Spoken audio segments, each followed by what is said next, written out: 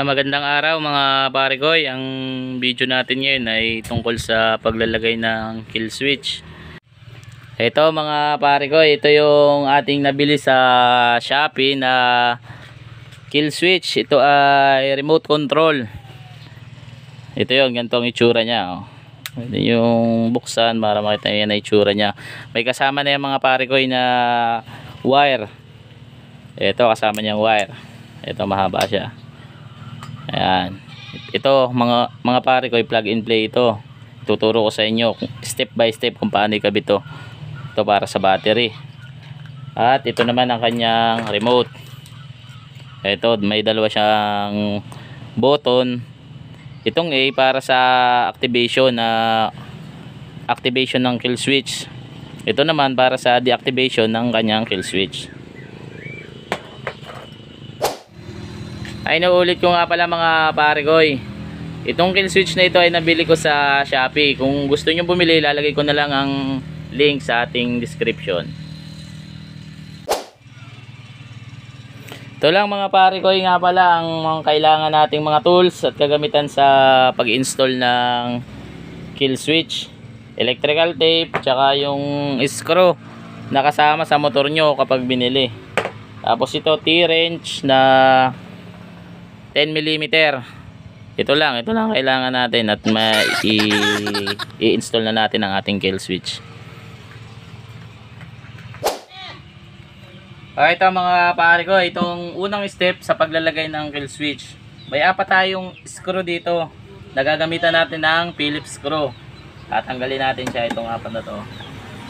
Magandang tanggalin to mga pare ko? Kayang kaya nyo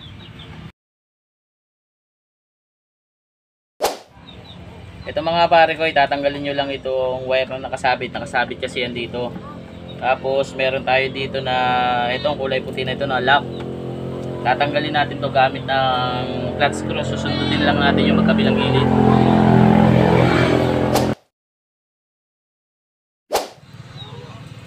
Ito naman mga pare ko, yung pangalawa. Step 2 na gagawin natin. Tatanggalin natin ng tatlong tornilyo ng U-box ito gamit natin ng 10mm na T-wrench.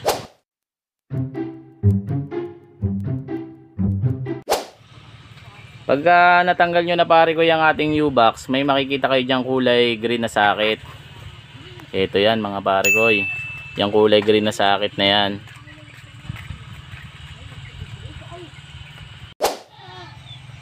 Ito mga pare ko makikita nyo itong kulay green na sakit na ito ito lang yung paghihiwalay natin para mailagay natin ang ating kill switch.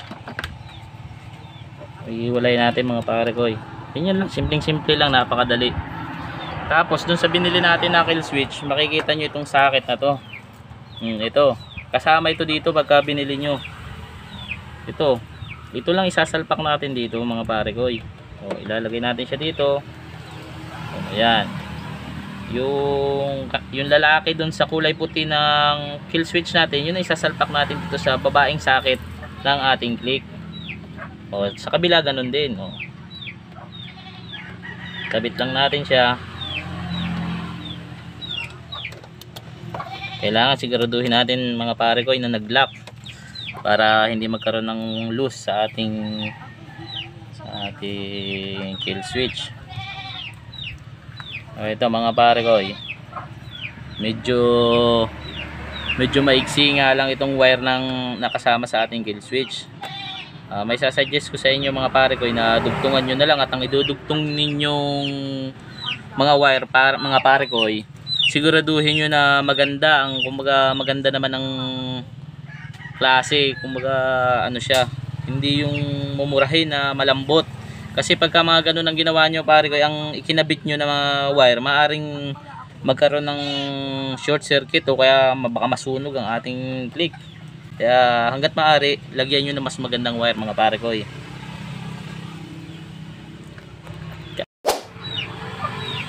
Sa akin mga pare ko, itong napili ko na wire na gamitin. Magandang klase ito, medyo matigas to. Tsaka may cover siya para kung halimbawa mainitan man dahil sa makina natin hindi basta-basta matutunaw o masusunog Tsaka pare ko, gagandahan lang natin ang lagay dito na hindi siya lalapat sa makina natin para maiwasan natin ng mga hindi inaasahang pangyayari.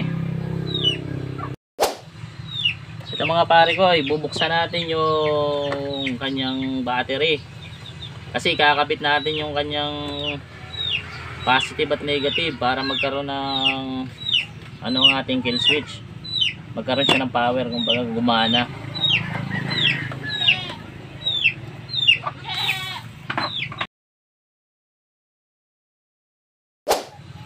Ito mga pare ko, dito ko pinadaan yung aking wire. Depende sa inyo mga pare ko, depende sa diskarte nyo kung saan mas malinis ang inyong pagkakagawa. Kayo na mga bahala doon pare ko. Ito, mahalagang tatandaan natin mga pare ko, yung positive at negative.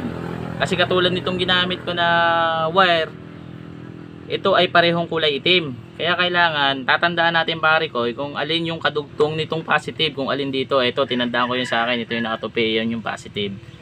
Diskartehan nyo na lang mga pare ko kung paano nyo gagawin. Pero mas maganda kung ang gagawin nyo, ang gagamitin yung mga wire ay kulay pula o kulay itim. O, sa madaling sabi, magkaibang kulay para ma- mas madaling matandaan kung positive o negative siya. So ito mga pare ko, eh, makikita nyo naman sa kill switch natin yung kulay pula at kulay itim. Siyempre, madalas naman kulay pula positive yan.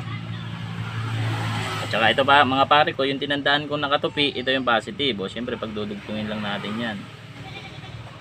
Depende na mga pare ko, eh, may mga, kung may mga alam kayo na pagdudugtong ng wire na mas maganda. Depende na lang sa, discard, sa mga diskarte nyo yan.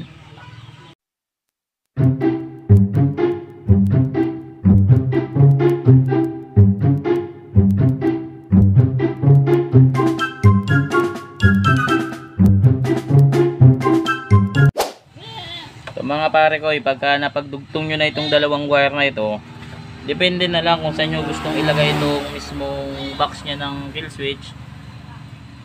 May, pagka gusto nyo, pwede nyo lagyan siya ng cable tie o kahit electrical tape lang. Sa akin kasi mga pare ko, eh, dito ko na lang ilalagay. 60 ko na lang siya dito sa may bandang tangke kasi balot na balot naman yan. Walang hindi siya pagka simbolan ng kung ano mang disgrasya. Tapos iipit natin ang mga wire dito mga pare ko eh, sa gilid. Kaya ito iniipit natin dito mga pare ko. Iwasan kasi natin na dumikit siya sa makina. Kasi pag dumikit siya sa makina, maaari mag-init, matunaw siya. Baka pagsimulan pa ng sunog. Yan, itatabi natin mga pare ko yung magandang pagkakatabi natin. O yan. Kita nyo naman, naka, nakagilid siya lahat kung mapapansin nyo. Sunod niyan, dito naman tayo sa battery. O, ito ba mga pare ko eh. Pagdating dito sa battery, meron kasi ito, may tinandaan ako dito. Kasi nga, purong itim yung aking ginamit na wire, ang dulo, pinaltan ko na lang siya na may gulay para madaling tandaan. O, mga pare ko, yung pula, sa positive, at ang kulay itim sa negative, napakasimple lang mga pare ko yung pag-install ng kill switch.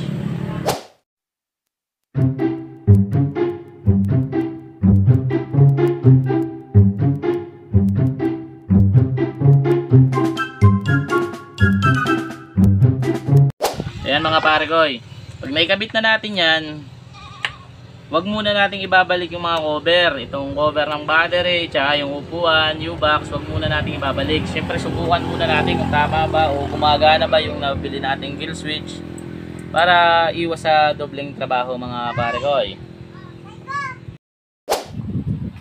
At ito mga pare ko, subukan na nga natin ang ating ikinabit na kill switch. Turn on natin ang ignition. Start natin ang ating makina. Ayan, umaandar na mga pare ko. Layo lang tayo ng mga ilang metro mga pare ko bago ito, mga ilang metro din ang layo natin. Subukan natin kung mamamatay nga ba. At ayan, namatay mga pare ko. Namatay ang makina natin. Yan mga pare ko, kahit start natin, kahit anong start natin, o yan, kita nyo pare ko, mga pare ko, nakapisil lang preno, start natin, hindi siya gumagana. Gagana lang ulit yan mga pare ko, pagka pinindot natin itong letter B sa remote. Ayan, pindot natin. I-start na yan mga parigoy. Ayan, okay na mga parigoy. Pagka ganyan, pwede na nating ibalik yung ating upuan at U-box. Maraming salamat sa panonood mga parigoy. Please like and share at subscribe na rin sa aking channel.